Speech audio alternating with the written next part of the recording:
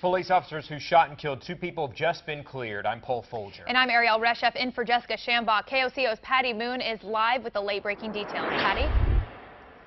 And Paul, family members of the two people killed, have been very vocal about wanting answers as to what happened back in April, but it looks like they won't be getting those answers, at least through this grand jury report that was just released today. Now, Christopher and Stacey Stout were killed on April 9th. This is video from the shooting scene near I-35 and Southeast 44th Street. Nearly half a dozen officers fired up to 75 shots at the truck that they were in.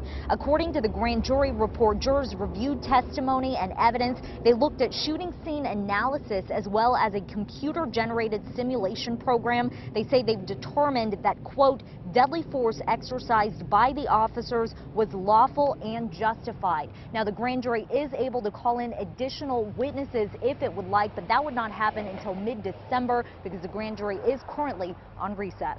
Reporting live, Patty Moon, KOCO 5 News.